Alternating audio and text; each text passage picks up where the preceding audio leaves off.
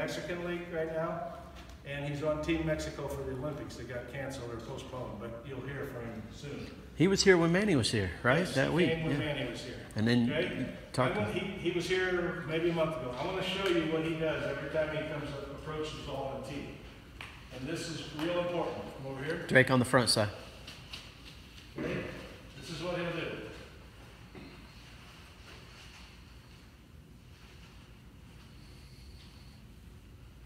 He'll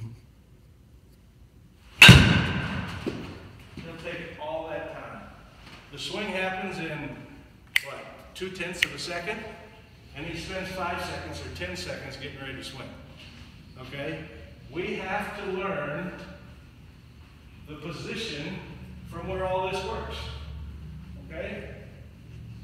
All right, if you start to feel this, ah, there it is.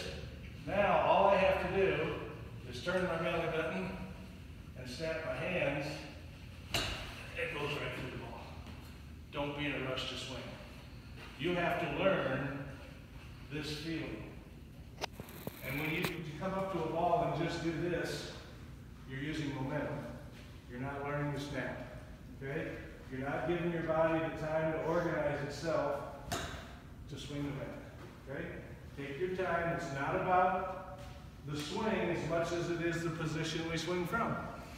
If we get to the position we swing from with our hands in the right spot, the swing is pretty easy to do. But when we don't get to that position, we just walk up here and hope we're in a position to swing, we get a different result, and we're wasting time. Okay? All right? Go ahead. Take your time, set up, get a good feeling. We need to get you to get your back more up there. There you go. Okay? Okay? Turn your belly Turn your belly button, snap your hands. By the way, he hit 29 home runs in 60 games last year before he got hurt. Almost won every game.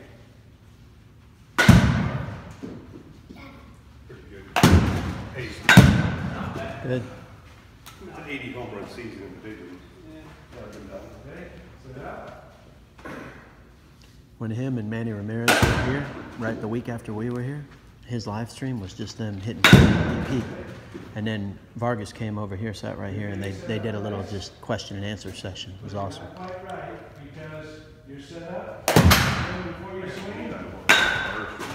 He's too I want you to get set up and swing from there. You don't work. You Even don't basketball, move he'll this do way, it.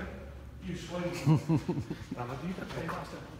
Man. swing from there. You know what I'm saying? You got to do it. Yeah, it, I, I think it'll come. Um, Set up. Hold it. Swing from there. Good. Good.